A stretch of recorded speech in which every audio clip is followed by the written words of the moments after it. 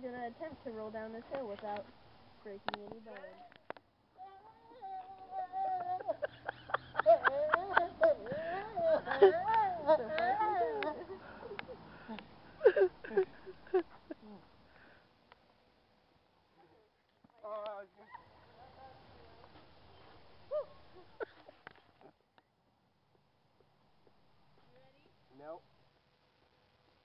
Yeah.